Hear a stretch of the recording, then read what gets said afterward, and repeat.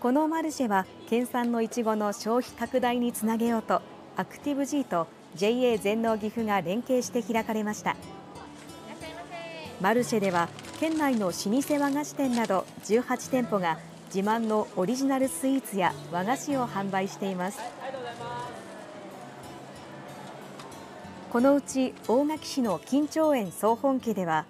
大粒の品種花かがりを使ったいちご大福が高山市の東宝園は美濃娘を使い猫をモチーフにした見た目が可愛いいちご大福が販売され春の訪れを感じる商品が揃っています。岐阜県内の和菓子屋さんがいちごをテーマにたくさんのおやつを販売されますのでまた明日も開催しますのでぜひお越しください。明日も150人限定で商品券などが当たる抽選会が実施され抽選会の参加者にはいちごの3種食べ比べセットがプレゼントされます。